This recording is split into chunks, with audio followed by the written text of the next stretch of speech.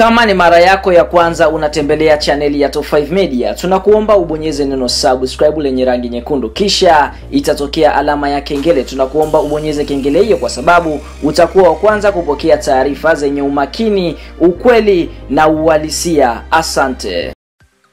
Ebwana, moja kati ya habari kubwa ya kimichezo ambayo tunakusogezea mezani siku ya leo kutoka ndani ya klabu ya soka ya Yanga Sports Club mara baada ya dirisha dogo la usajili kufungwa, watu wengi wanajiuliza, je, kikosi cha kwanza cha Yanga kwa mwaka huu elfu mbili na ishirini na tatu kuelekea katika michuano mikubwa ya kombe la shirikisho barani Afrika, hatua ya makundi na michuano mikubwa ya kombe la shirikisho hiyo, pamoja na michuano ya kombe la shirikisho nchini Tanzania, yani Azam Sport Federation Cup na michuano ya ligi kuu ya NBC. Je, kikosi cha kwanza cha Yanga kitakwenda kupangwa vipi na kocha Mohamed Nasreddine El Nabi?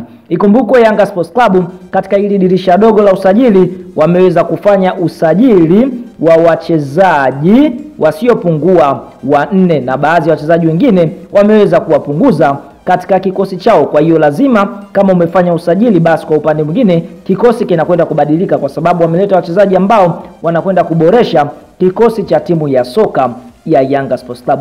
Ngoja tukukumbushe sajili ambazo zimeweza kufanywa na klabu ya soka ya Yanga Sports Club. Afu mara baada ya hapo tutakwenda kukutajia kikosi cha kwanza cha Yanga kwa msimu wa mwaka elfu mbili na ishirini na tatu. Kabla ya kuendelea mbali, kama unaipenda klabu ya soka ya Yanga Sports Club, hebu bonyeza like katika video hii, alafu nenda eneo la comment ka comment, wewe ni Yanga kutokea maeneo gani? Tunaamini wana Yanga kindaki ndaki wataweza kucomment hapo eneo la comment. Comment bwana mwana Yanga, ututoe kimasomaso na Yanga wenzako, na hii ni Top 5 Media. Kama bado hujasubscribe, embu subscribe. Kwa upande mwingine Yanga Sports Club kwa upande wa wachezaji wazawa wameweza kuwasajili wachezaji wawili tu. Tukienda kuanzia mchezaji wa kwanza ni golikipa Metacha Mnata ambaye pia alishai kukipiga katika klabu ya soka ya Yanga Sports Club, na Metacha Mnata amejiunga na Yanga akitokea Singida Big Stars na anasajiliwa Yanga kwa ajili ya kwenda kurithi nafasi ya Abutwalibu Msheri ambaye anaonekana kuwa na injury ambayo inamweka nje kwa msimu wote. Mchezaji wa pili mzawa ni Mudafi Yaya Basi ambaye ameweza kusajiliwa na tayari tumeweza kumwona ameweza kuingia katika kikosi cha Yanga Sports Club. Baadhi ya michezo ya Yanga ameweza kupata nafasi ya kucheza, na mchezaji huyu amejiunga na Yanga akitokea katika klabu ya soka ya Azam ambayo aliweza kuvunja nayo mkataba. Lakini kwa upande wa wachezaji wa kigeni Yanga wameweza kufanya maboresho na kusajili wachezaji wawili tu. Hapa tukienda kumwongelea beki kitasa Mamadou Doumbia mwenye umri wa miaka 27. Beki huyu wakati kutokea katika nchi ya Mali, na ifahamike alianza kucheza soka lake la kulipwa mwaka 2017-18 akitokea Olympic Safi ya huko huko Mali, na kwa upande mwingine ameweza kucheza katika klabu ya Stade Malien ya huko huko Mali mnamo mwaka 2017 2018 2019 mpaka mwaka huu 2023. Kwa hiyo Yanga wameweza kumsajili beki huyu, beki katili, beki ambaye kwa sasa anaitumikia timu ya taifa ya Mali katika michuano ya Chani. Kwa hiyo Yanga wameweza kulamba dume katika usajili wa beki huyu ambaye ni captain wa timu ya taifa ya Mali kwa mashindano haya ya Chani yanayoendelea huko nchini Algeria.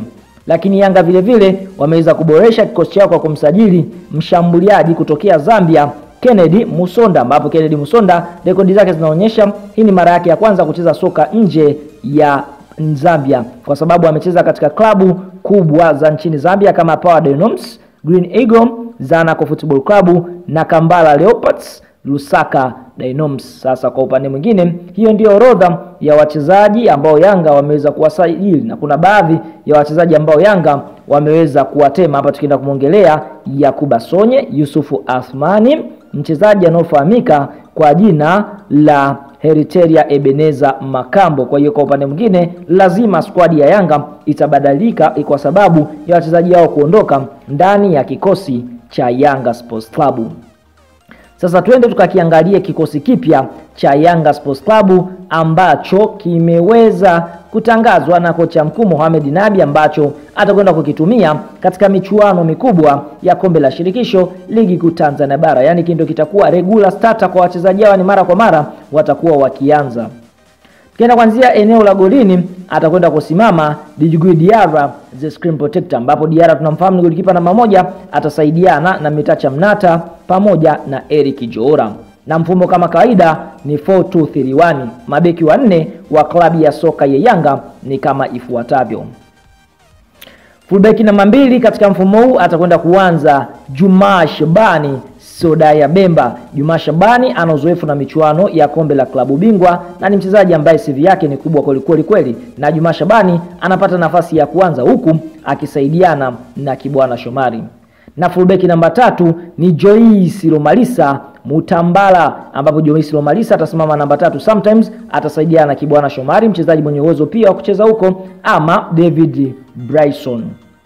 Na kwenye eneo la beki namba nne hapa kuna mabadiliko kidogo. Moja kwa moja atakwenda kuingia beki katili Mamadu Dombia kutokea Mali. Beki huyu tunaona ana sifa zote za kuwa beki wa kati. Kwanza ni kiongozi, kuongoza wachezaji wenzake na anajua kujituma uwanjani. Mamadu Dombia anakwenda kuingia katika eneo la beki wa kati namba nne na atakuwa akisaidiana na Bakari Nondo Mwamnyeto lakini katika eneo la beki namba tano atakwenda kusimama Dickson Job the Shark, miongoni mwa wachezaji ambao wanafanya poa sana, na Baraka Mpenja anamwita e, miongoni mwa mabeki ambao ni bora sana e, akimwita BBD yani big, eh, big brain defender yani be, beki ambaye anatumia sana ubongo wake kufikiria. Kwa hiyo kwa upande mwingine Dickson Job anaenda kusimama namba tano akisaidiana na beki anaofahamika kwa jina la Ibrahim uh, Ibrahim Baka. Lakini katika eneo la midfield viungo wa juu yani namba sita atakwenda kusimama yani Kibangala Litombo. yani Kibangala Litombo anasogezwa katika eneo lake la namba sita na anacheza vizuri kweli kweli, lakini yani atakwenda kusaidiana na mchezaji Mudathir Yaya Abbas.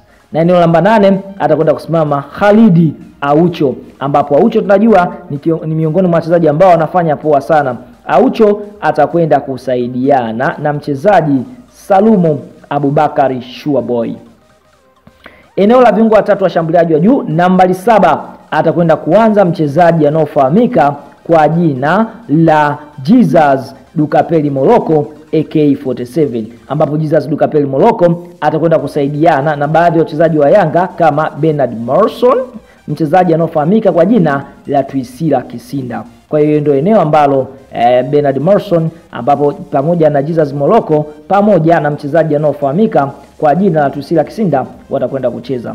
Na katika eneo la nambari kumi na moja atakwenda kusimama Kennedy Musonda, ingizo jipya ndani ya kikosi cha Yanga Sports Club, na Kennedy Musonda atakwenda kusaidiana na baadhi ya wachezaji kama Faridi Musa Malik Shah, Dennis Nkane, Dickson Ambundo katika eneo hilo na eneo namba kumi atakwenda kusimama Stefan Aziziki, miongoni mwa wachezaji ambao wanafanya poa sana. Kwa hiyo Stefan Aziziki katika eneo namba 10 hilo, sometimes atasaidiana na mchezaji Salumu Abubakar Ishua Boy ama atasaidiana na mchezaji Farid Musa Maliki ambaye naye pia anaonekana kulihimili eneo hilo, na iwapo Faisal Salumu ataweza kurejeshwa katika kikosi cha Yanga, basi naye pia ataenda kukaa katika hilo eneo. Iwapo asiporudishwa, basi ndio wachezaji ambao tumeweza kukutajia.